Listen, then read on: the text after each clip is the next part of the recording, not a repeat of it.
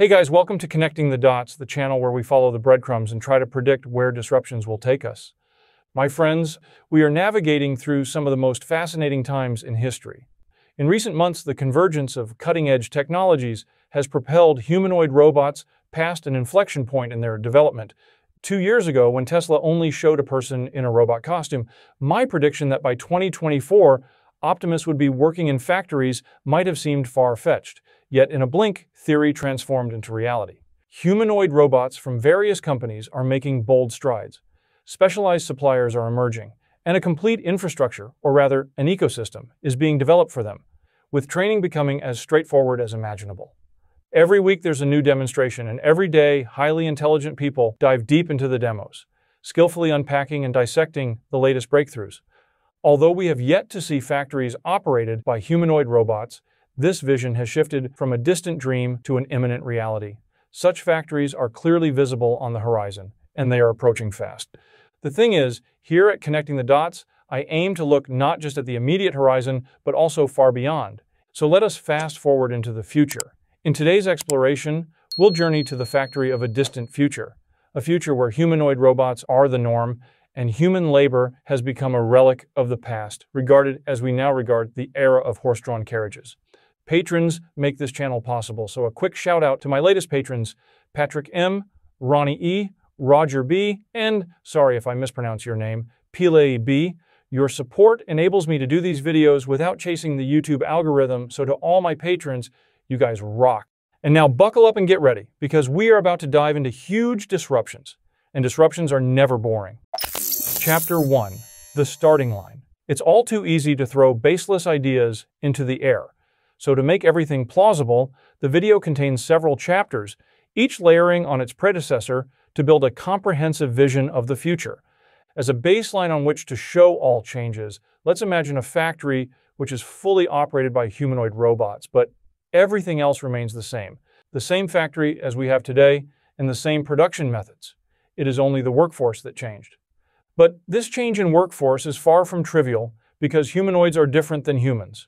This unlocks amazing possibilities. Let's see what they are. Chapter 2 Superhuman 1.0 In my earlier discussions on the factory of the future that Tesla is constructing, I speculated that robots will be equipped with large language models, enabling speech-based interaction.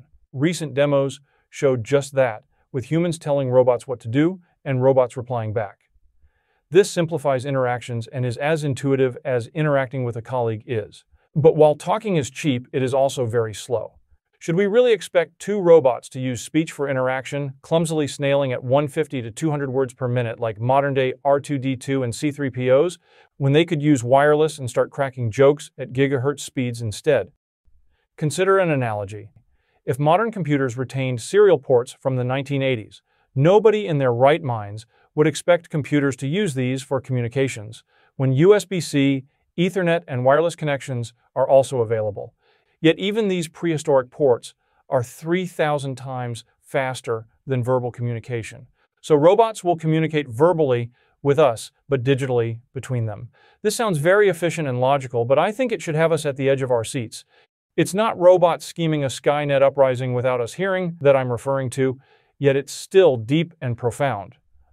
The rationale for humanoid robots is their versatility in a human-centric world. For example, a robot that is almost fully humanoid yet has grippers as hands can stack crates all day long but wouldn't know its right from its left if it has to use power tools or to do delicate work. Similarly, a wheeled robot can move faster than humans around the factory floor but is challenged if it has to climb stairs. Fully humanoid robots, however, can stack crates and can use power tools, can walk around the floor, and can climb stairs. They have vision to let them see their surroundings, they understand language, and can read signs and instructions. And sure, they can work three shifts without tiring, but otherwise, they are not very different from humans. They are not superhuman. But wireless communications at gigabit speeds is something that humans don't have. Our interfaces are extremely slow, and if robots can interface much faster, this marks the first clear superiority of humanoid robots over their human counterparts. A quote misattributed to Yogi Berra says that, in theory, there's no difference between theory and practice. In practice, there is. Paraphrasing on that, and in theory, there is no difference between humanoid workers and human workers, but in practice, there is. The divergence from human capabilities begins with wireless communications. Let's see which possibilities this brings. Chapter 3 The Living Organism. Moving deeper into the future of automobile manufacturing with humanoid robots, we arrive at a concept where the entire factory operates like a single intelligent entity. This chapter, The Living Organism, explores how the advanced communication capabilities of robots will revolutionize the manufacturing process Continuing the previous theme of not forcing robots to use obsolete interfaces wherever faster ones are possible opens a world of opportunities. Tesla's factories contain numerous screens with which the factory's digital self-management AI, or DSM, provides workers with loads of information. Information includes details about the car being built, such as the parts it contains and how well it passed previous tests, feedback for the workers regarding how well they perform their job, and unrelated information which enables employees to pursue other tasks, such as which problems need to be tackled and what's done about them, potential pathways for improvement, financial metrics, and more. And as Tesla's vehicles progress through assembly, their computers operate in factory mode, passing info to the central AI and possibly also displaying it on the car's center monitor. But just like with talking, why make the robots go and read factory monitors designed for humans when they can directly connect to the factory's AI and to the vehicles themselves. Using wireless communications will enable a level of interaction much richer and far more efficient than any human capability, with better monitoring of the production process and enabling the humanoids to adjust their operations in real time as the cars are being built. But the shift to wireless communications isn't just about efficiency. It signifies the evolution of the factory into a networked organism. Robots, production systems, and vehicles share data continuously, functioning like cells within a larger body. This interconnectedness allows for an intelligent, adaptive manufacturing process akin to a hive mind, where decisions are made based on a wealth of shared information. Every component within this ecosystem, from tools to machines, communicates and shares data, which enables optimizing the production process, reducing downtime, and proactively predicting required maintenance. The outcome is a self-optimizing manufacturing system that not only reduces costs and enhances efficiency, but also produces higher quality vehicles. This represents a significant leap forward in automotive manufacturing, marking a transition to an era where factories are not just places of production, but intelligent entities capable of constant learning and adaptation. Chapter 4 Unionizing with intelligent robots working three shifts a day, seven days a week, the robots will join the UAW. Okay, I'm just kidding. Sorry to spoil your daydream, Shawn Fain, but this won't happen, so let's move on. Chapter 5 Supply Chain and Preventive Maintenance. As factories become more integrated, with every component from production lines to finished vehicles communicating in real time, the potential for a more streamlined, efficient, and environmentally friendly supply chains becomes apparent. Autonomous systems could take over the entire logistics process, from ordering raw materials to delivering finished cars, possibly even to customers' doorsteps. This automation aims to optimize speed, reduce costs, and minimize the environmental footprint of manufacturing and distribution. That being said, how much of a change is this for Tesla? Tesla's factory AI already integrates production with supplies, setting an extremely high bar compared to where other companies are at. So the question arises, will integrating humanoids into the hive mind improve this even further? I think it will. Robots should be able to share with other robots, as well as the factory AI, the view through their eyes, obtaining a combined picture and faster handling of situations. These additional feeds from different angles and distances should enable better visual inspection of the cars. But there's more. Robots can perform consistently, time after time, and they can provide tactile and audible streams, which makes it a whole new ballgame. Tesla is data obsessed so logging the exact resistance that the robot encounters when inserting a plug or tightening a fastener, as well as sampling the sounds the parts emit when this is done, will provide much better understanding of variations between cars. This should enable earlier pinpointing of faulty parts and materials, as well as impending maintenance required for factory machinery. So yes, even for Tesla, adding humanoid robots can significantly improve supply management, and preventive maintenance. In the utopian future of abundance that robots could bring, we will have more time on our hands for both leisure and self-development. Until then, however, Time is my most precious resource, so I'd like to introduce to you my latest time saver. Shortform, the sponsor of this video, is a game changer for anyone who loves learning and reading, but struggles to find the time. Shortform distills the world's best nonfiction books into comprehensive, yet concise, guides. I said guides because these are much more than book summaries. It's like having a smart friend who's read everything and can clearly explain the most complex ideas to you. Sometimes even excellent books can be useless if they don't cover a specific topic I need, and Shortform slashes the time wasted on those and lets me focus on those that can serve me the most. Each book has a one page summary, which helps me quickly grasp the main points and see whether to go deeper or move on. The guides also provide deeper analyses, interactive exercises, and even comparisons with ideas from other books. The subscription also includes Shortform AI, a browser extension that instantly generates high quality summaries for blogs, articles, emails, and YouTube videos at the click of a button. I use it extensively to shorten my research and quickly see what web pages have in store. For example, opening this New York Times article about Tesla, we get a concise summary of the article's main points along with additional context and even counter arguments against the article's FUD Use my link shortform.com slash connecting and get a free trial and 20% off your annual subscription. Visit shortform.com slash connecting and experience this time saver yourself. Chapter 6 Superhuman 2.0 Rethinking Assembly. With humanoid robots taking over factories, car production and assembly are poised for a revolutionary transformation. Freed from human limitations, these robots bring unprecedented flexibility and efficiency to manufacturing processes. In this new era, the concept of the assembly line will evolve. Since robots will be capable of performing multiple tasks with expert precision, this will enable having some of the stations, well, stationary. Wherever this makes sense, instead of moving the vehicle or module from station to station for each single task as currently done, the vehicle or module will remain in place, and the station's robots will complete a sequence of several tasks before the car moves on. With several parts arriving to the station via an overhead conveyor, this could increase the factory's volumetric efficiency. This approach harkens back to the pre-production line era, when cars were crafted by a single team in one place, and combining stationary islands in the production stream provides a modern twist on traditional manufacturing methods. Moreover, the physical capabilities of humanoid robots, working tirelessly, performing tasks upside down, and even operating from above, mean that the entire layout of production lines can be reimagined. My paternal grandfather, an engineer, was ambidextrous. Whenever his arm got tired hammering something, he would just switch hands and continue hammering. Robots should one up that, as they will be able to concurrently perform completely different tasks with each hand. To me, a single task at a time male, nothing spells superhuman better than that. Robots equipped with advanced sensors and AI can execute complex assembly processes that would be impractical or impossible for human workers. This includes tasks requiring precision in awkward positions or locations within the vehicle that are hard to reach for humans but trivial for robots. To give an example, let's ignore the unboxed process for a moment. Imagine the car's body progressing from station to station with a robot or two crouched inside, ready to accept parts through the doors and install them from inside.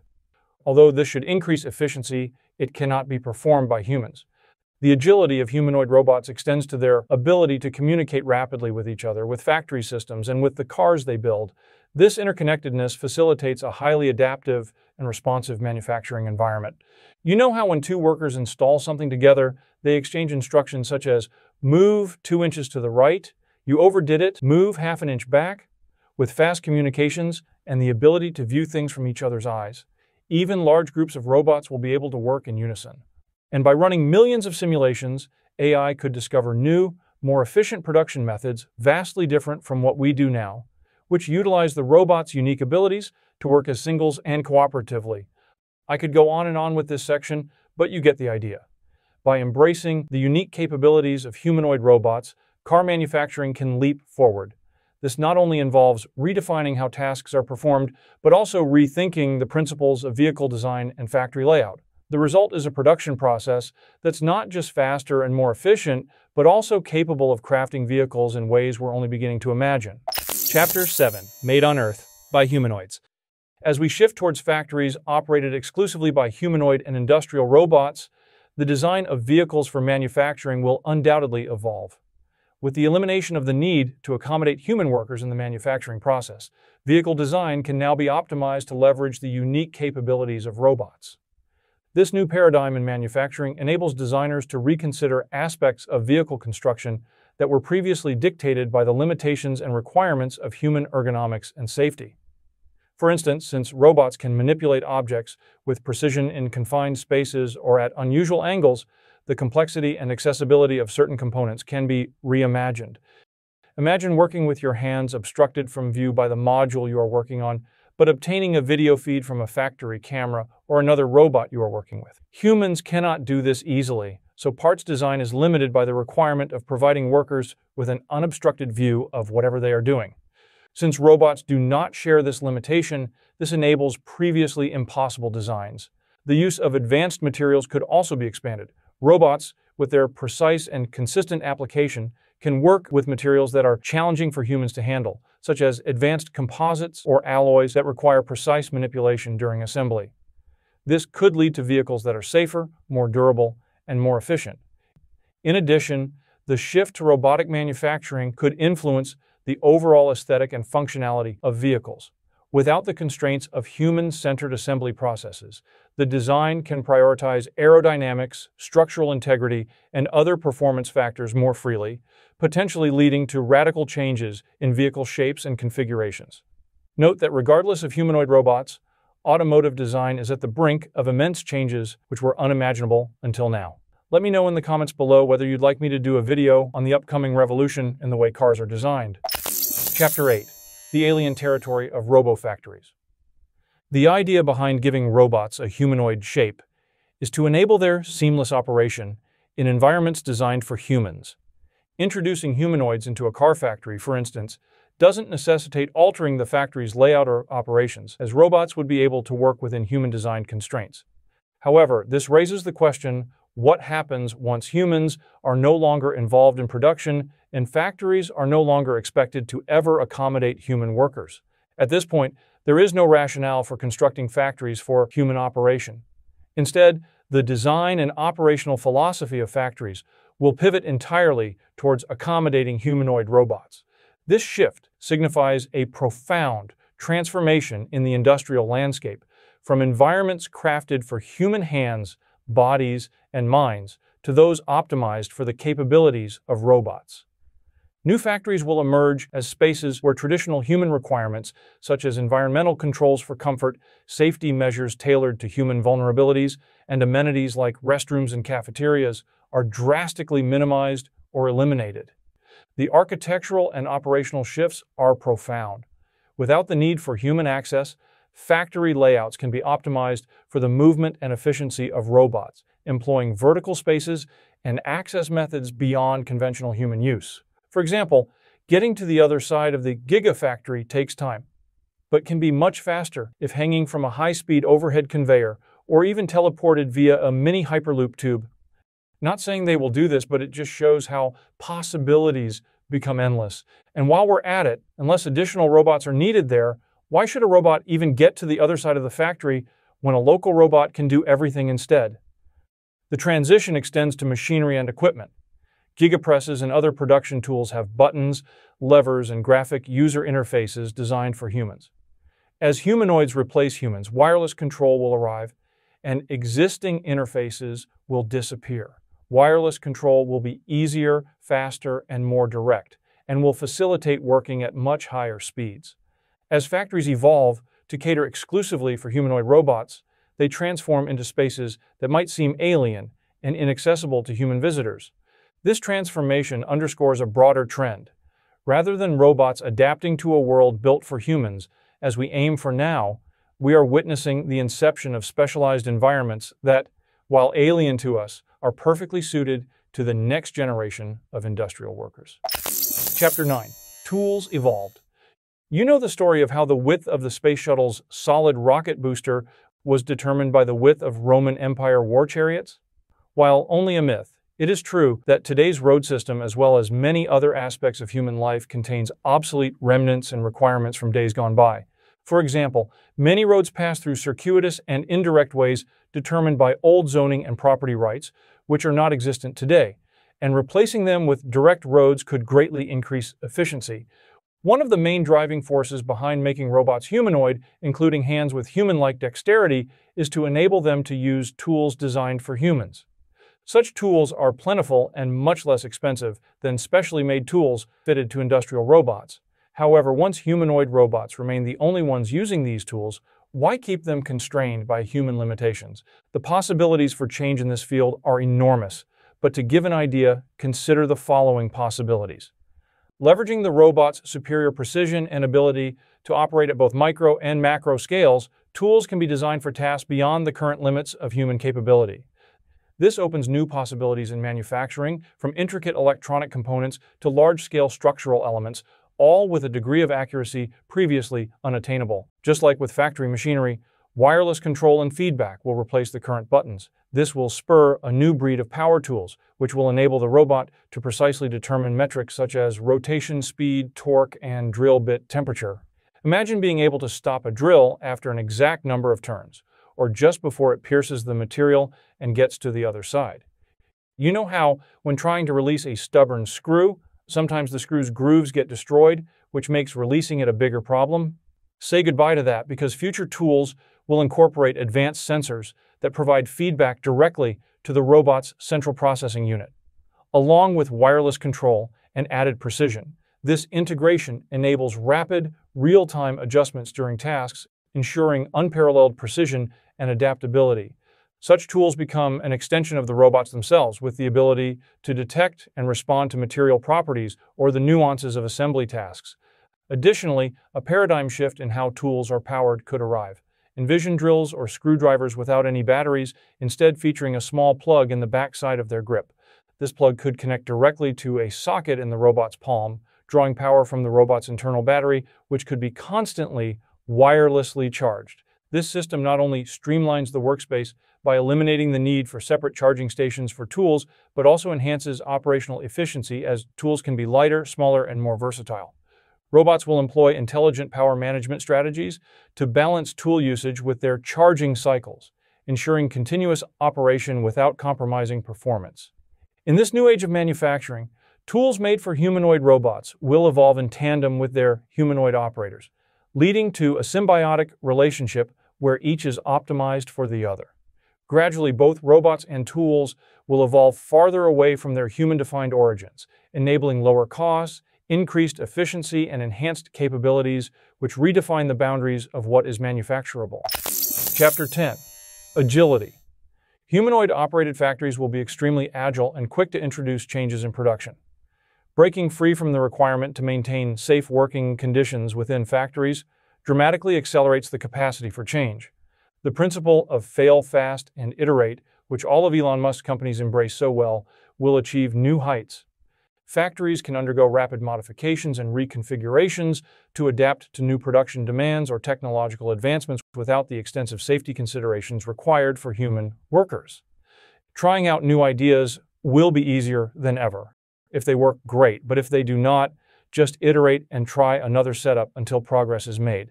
Furthermore, running millions of simulations before changes are made will allow for exhaustive testing of potential changes in a virtual environment before implementing them in the real world, significantly reducing the risk and time associated with physical trials. Since robots are better modeled than humans, the move from simulation to actual production will be swift.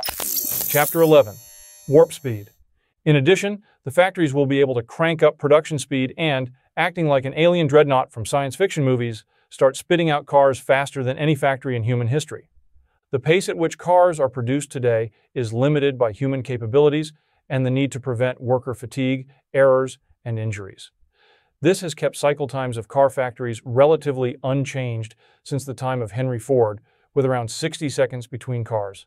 Obsessed with production speed and efficiency, Tesla managed to drop cycle time to a world-beating 35 seconds between cars. But even at this level, substantial room remains for improvement. Why not make it 10 seconds or 5? Why not a second, really? The introduction of humanoid robots into the production process opens the door to drastically accelerating these speeds, as robots can operate continuously without the limitations faced by human workers.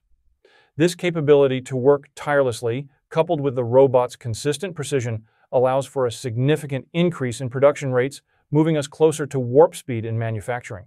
Moreover, being able to directly control machines and tools and get instant feedback from them via wireless connection will significantly improve production speed. Of course, ramping up the pace will require significant changes in the way vehicles are built.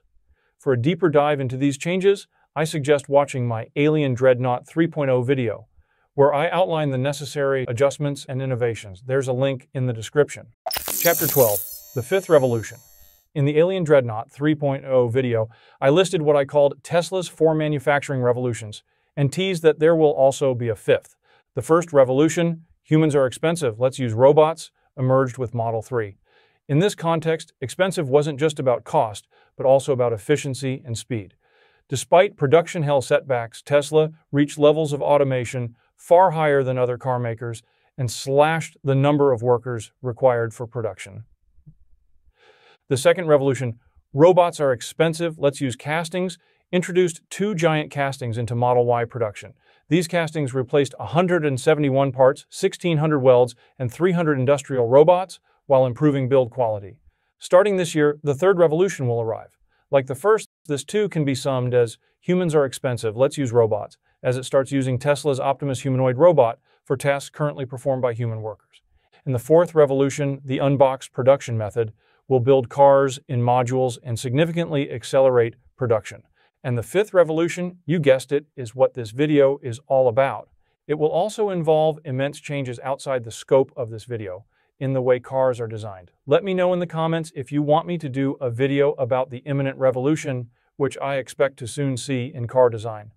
The fifth revolution of unlatching the shackles imposed by limitations of human workers and embracing the superhuman capabilities of humanoid robots is the final ingredient required to achieve a true alien dreadnought. An alien it is. Factories will become terra aliena, inhospitable for humans and unlike anything we have known before the factory's neural network will interact with those of the robots to create a giant hive mind controlling all factory operations. The hive mind will interact with cars, factory machinery, and even hand tools via wireless interfaces. It will control production and obtain feedback at the speed of thought, and it will produce huge data feeds with which to improve the cars and better predict shortages and malfunctions. This busy hive will produce electric vehicles faster, cheaper, more efficiently, and with higher quality than ever before. It will be scary, and it will be exciting, and it will give customers much better cars at a much lower price. It seems like science fiction, but you know as well as I do that it will arrive. And I don't know about you, but I can hardly wait. Peeping into the future is a game of hit or miss, which is better played in larger groups. So let me know below what made sense to you and what you think I got wrong. If you like this video, please like and subscribe. Also, please consider supporting me on patreon.com slash connectingodots for as little as one buck a month.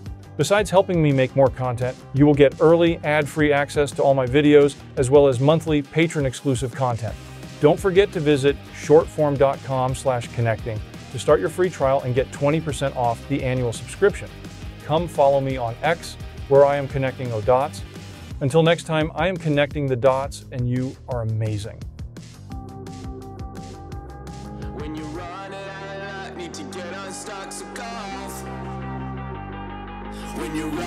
Against the wall and you cannot fall, so go off, go off.